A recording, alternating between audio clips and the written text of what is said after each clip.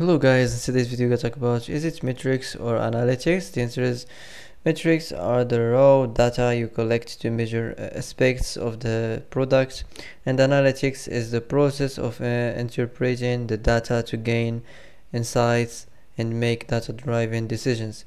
So that's it for today. I hope this is the answer you've been looking for. If you like this video don't forget to like and subscribe and see you in the next video.